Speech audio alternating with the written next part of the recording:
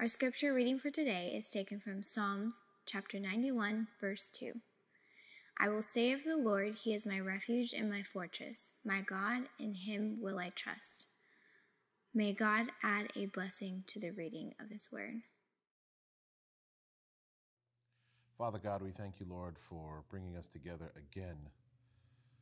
Lord, as we study your word and reflect on current events, I ask once again, Lord, that you just make me a nail upon the wall, a rusty, sorry nail, Lord. But upon that nail, Lord, I ask that you hang a portrait of Jesus Christ. These are dark and difficult times, Father, and we need to hear a word from you. This is our prayer in Jesus' precious and holy name. Amen. Um, there's a lot that's been going on, so we're going to do um, kind of an update right now of Pandemic at the Door. This would technically be the fifth installment, even though we'll probably have to call it part four, um, and just talk a bit about what's going on and reflect from the scripture as to what God promises us. so let's start with the promises. In Psalms 91, David writes, and this is one of the most popular verses and chapters of the Bible going around on the internet for Christians who are going through this pandemic. It says, He that dwelleth in the secret place of the Most High shall abide under the shadow of the Almighty. I will say of the Lord, He is my refuge and my fortress, my God, in Him will I trust. Surely He shall deliver thee from the snare of the fowler and from the noisome pestilence. I think that's why people like this, because David here, unlike many other Psalms, is not simply speaking about enemies. He's not simply speaking about being under attack or chased. He's not like in Psalm 51 reflecting on his own failures. Here, David is speaking to the fact that the world is unpredictable and life is unpredictable. David is speaking to the fact that at all times we are under attack. And in the next segment, we're going to go deeper into why that is so and the, and the prophetic ramifications of that. But David says God will deliver him from the snare of the fowler. And he also says that God will deliver him from the noisome pestilence. And right now, that is what many of us are looking for deliverance from pestilence. Verse 4 He shall cover thee with his feathers, and under his wings shalt thou trust. His truth shall be thy shield and buckler. The scripture says, like a bird puts its wings over its chicks. As it protects its young, God will put his wings over us. We will be protected under his feather. And then the Bible says, His truth shall be thy shield and buckler. It is the truth, the word of God, that actually will protect us. Knowing what is coming upon the earth, the prophecies, and what is about to unfold is protection. Because if you're not protected, if you don't understand what's coming on the earth, fear is the natural ramification. It is what will happen. And so in verse 5, David says, Thou shalt not be afraid for the terror by night, nor for the arrow that flieth by day. Then he says in verse 6, Nor for the pestilence that walks in darkness, nor for the destruction that wastes at noonday. Then he says something I love. He says, A thousand shall fall at thy side, and 10,000 at thy right hand, but it shall not come nigh thee. This is the prayer we all have. This week has been a tough week for the coronavirus pandemic. I think one of the things that's interesting is that there are many who are still saying that this is a made up disease, that it doesn't really exist. I would agree with the argument that maybe there's been some media hype, but the truth is, this is a real disease. People are really dying. In Connecticut, where I live and practice medicine, this week, coronavirus took its youngest victim, I believe, known on earth. A six week old baby, six week old baby, died from what we believe are complications of this virus, the youngest to date. As we have now a rapid increase in the number of cases, we also are having a more rapid increase in fear of the disease. You go to the grocery store now, you've got to wait outside in a line. There, people have to stay six feet apart. People are afraid to come near other people. So it's changed. Where first they were having trouble with social distancing, it seems now Folk are running from each other almost. In the medical community, we are also facing shortages of personal protective equipment. You keep hearing about PPE.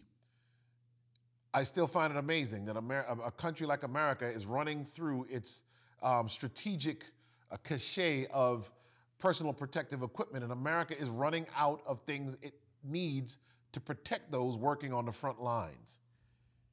This pandemic is not going away. And I believe that psychologically, people are going to be affected by this for a very long time. In three months, or four months, or five months, will people still pour into churches to sit close to people? Will they go into movie theaters and sit next to people they don't know, uh, worried about the next pandemic? I believe that psychologically, the world is going to be scarred by what has happened. But I want to submit that one of the biggest things, and we'll talk more about this in the next message as well, is that we're now finding that the effects on the poor are very serious. In cities like Detroit and Los Angeles, the homeless and the poor disproportionately being destroyed. Uh, high risk groups, African Americans who already had significant health disparities when hit by the coronavirus, many of these comorbidities are actually increasing the chance that this virus will be serious in those individuals. In India, we're watching immigrants who come into those countries like India and other parts of the world as the, the place shuts down and there's no more money. They are starting to walk back home in large numbers. We're seeing um, even uh, probably just as crazy as anything else, we're beginning to see that money from overseas to countries like the Philippines and, and, and Haiti and Jamaica and, and other parts of the world dry up, where expats usually send money back home to help to drive those economies. The impacts of this is deep.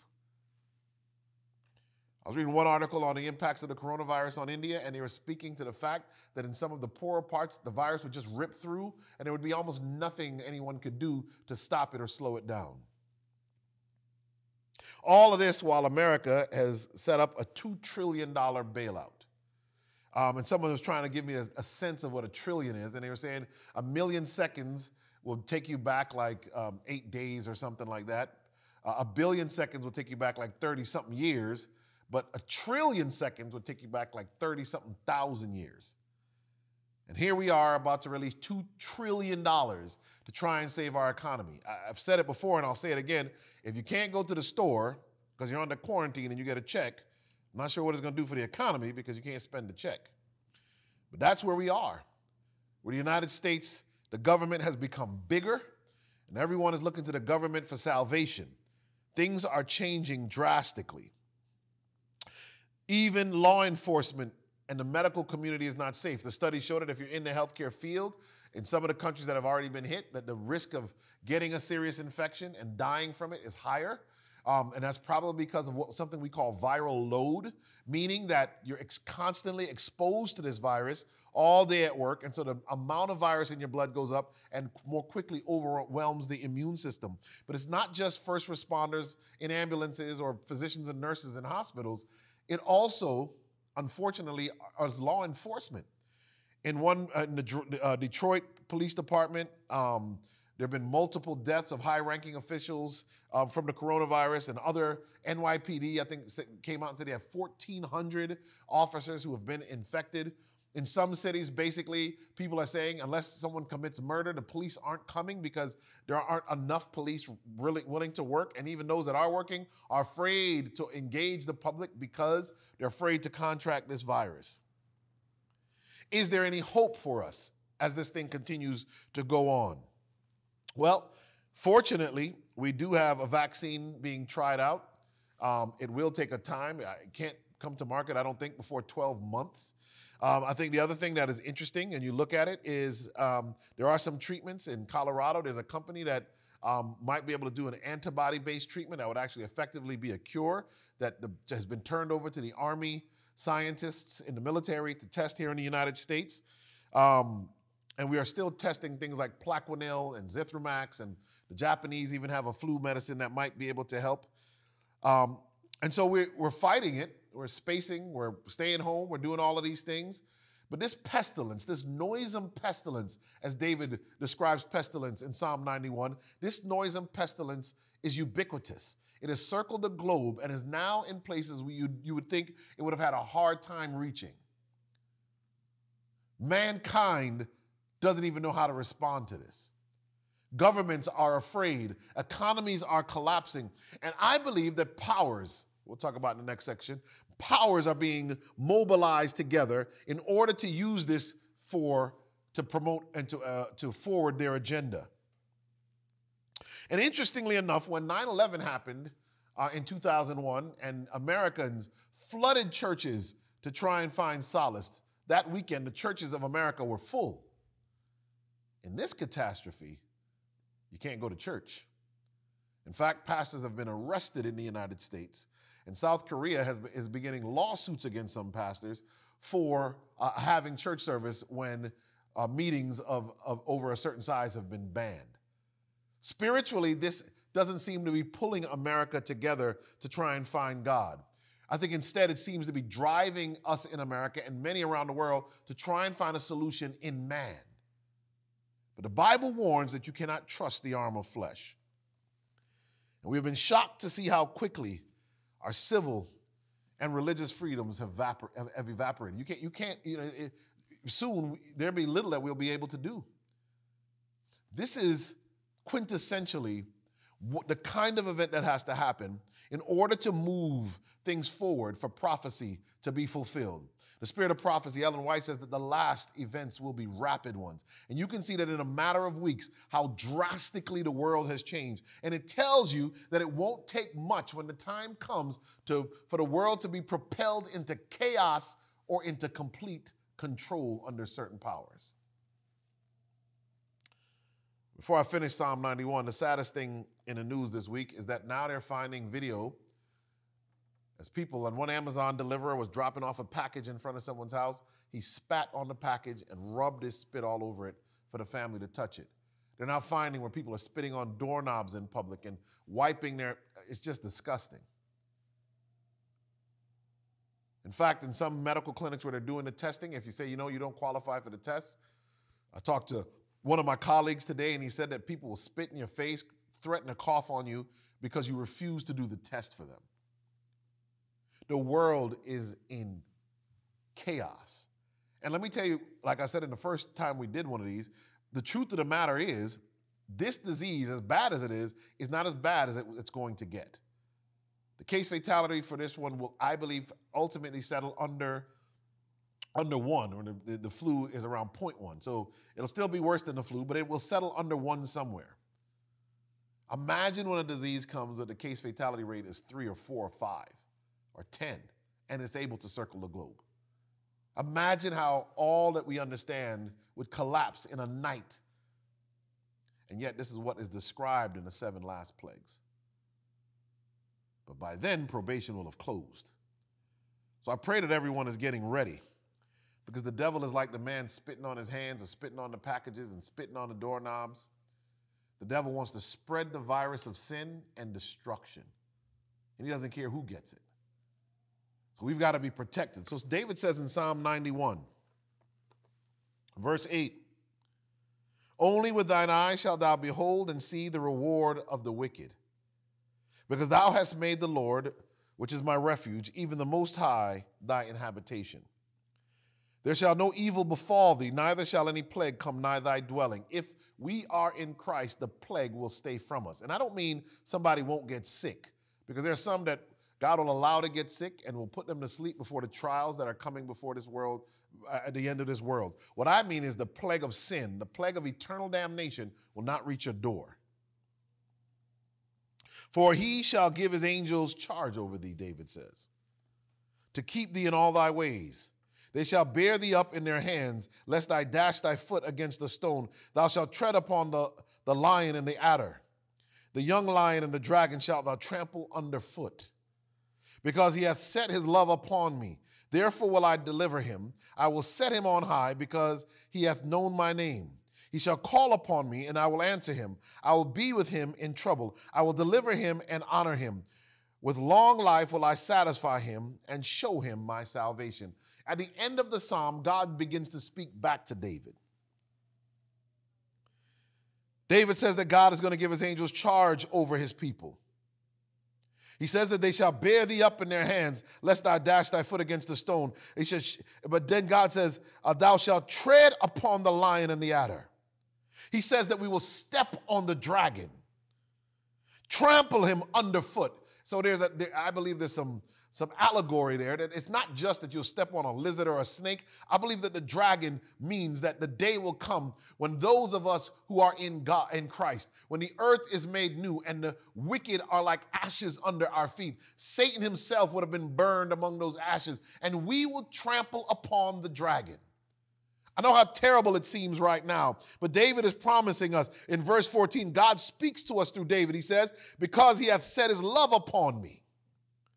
Therefore will I deliver him, because you love the Lord, which is the first and great commandment to love the Lord thy God with all thy heart and with all thy soul. He says, Because you have set his love upon me, therefore I, I, will deliver him and I will set him on high. Why will God set you on high when the whole world has gone low in this pandemic? Because he hath known my name. Let me tell you something. For those of us stuck at home, social distancing, working from home, out of work. As bleak as it gets, your children are running around the house, probably running up your nerves. Tough as it seems, everybody's out of school. There's a lack of, of, of, uh, uh, of, what is coming next. There's security in the fact that you love the Lord and that you know his name. And I want to challenge the believers who hear this not to panic, not to fret. Remember that you love him and that you know his name. Let us pray. Father God, we thank you, Lord, for uh, bringing us together again uh, to record these messages. And I just ask, Lord, that Psalm 91 would become the prayer and the guide and the strength of all who need strength and hope right now. Lord, every time I've been in trouble, I've turned to the book of Psalms, and this is no different. Because in this book, Lord, you said that you would protect us from the noisome pestilence, that the plague would not come near our door, that you would uh, uh, elevate us, Lord, and that we would one day trample on the dragon. Lord, we claim the promises of Psalms 91. And as the world descends into chaos and fear, Lord, let us rise into a greater knowledge of our Lord and Savior Jesus Christ. Lord, let us rise into a better relationship with you. This is our prayer in Jesus' precious and holy name. Amen.